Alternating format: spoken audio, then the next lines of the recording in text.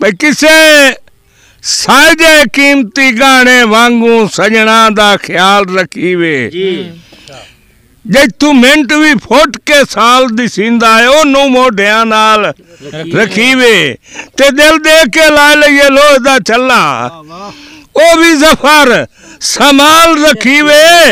ਉਹ ਬਾਦ ਨਸਲੇ ਸੱਜਣ ਤੂੰ ਬਿਹਤਰ ਹੈ ਕੁੱਤਾ ਨਸਲ ਦਾ ਪਾਲ ਰੱਖੀ ਵਾਹ ਜੀ ਵਾਹ।